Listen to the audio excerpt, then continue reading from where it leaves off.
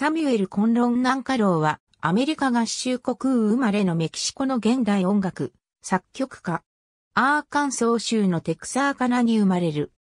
ジャズバンドでトランペット奏者を務めた後、シンシナティで作曲を学び、ボストンでロジャー・セッションズ、ウォルター・ピストン、ニコラス・スロニムスキーに指示。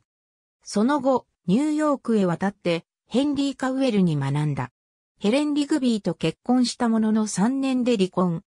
アンネッテ・マルゴリスと2度目の結婚に至るが、これまた3年で離婚。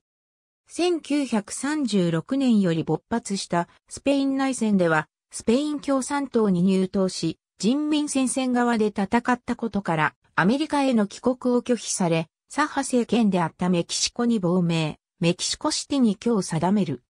1955年に政治亡命が認められ、市民権を取得。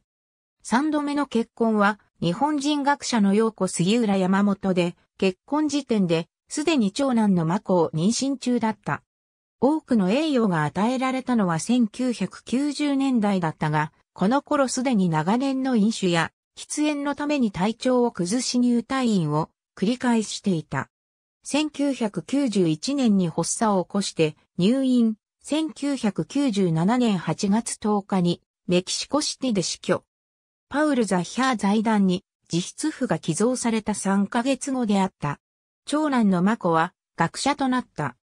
ナンカローは楽曲の制作日を正確に書き留めておく習慣がなかったため、多くの作品は何年頃に作曲されたと曖昧に表記されている。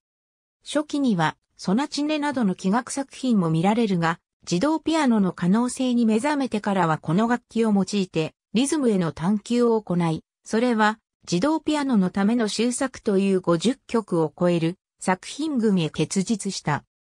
これは人間では演奏不可能な複雑なリズム構造を実現させるために自動ピアノを用いたものである。ヤングのウェルチューンドピアノ、ギュナー・ヨハンセンの即興ソナタと並んで改造ピアノのために書かれた重要な作品群であり、現在もこの作品から影響を受ける作曲家は多い。この作品群は当初から現在のような高い評価を受けていたわけではなく、1750アーチレコーズから LP4 枚がリリースされた当時はアメリカ実験音楽の一つの潮流程度の受け止め方でしかなかった。しかし1980年代にリゲッティがたまたまパリのレコード屋でこの LP を入手し、ナンカローはベーベルンやアイブズに匹敵するほどの大作曲家だと高く評価し、リゲッティのデシマンフレート・シュターン家もこの作曲家を研究したことによってナンカローは広く知られるようになり、ウェルゴから CD がリリースされた。メキシコには素材の細分化に向かった作曲家が3人いる。音律の細分化を図ったフリアンカリリオとリズムの細分化を図ったコンロン・ナンカローと変遷の細分化を図ったフリオ・エストラダだとマニュエル・アントニオ、デミンゲス・サラスによって定義された。前衛世代をしのぐ音楽素材の微細化に向かったリズム語法の素として評価が確定している。当初の作品はバルトークの配分法やジャズやブルースの影響がロになったままで単純にスピードを上げてまくし立てる作品しかなかったが、次第に一本の線の極端な比率によるカノンの追求へ至る。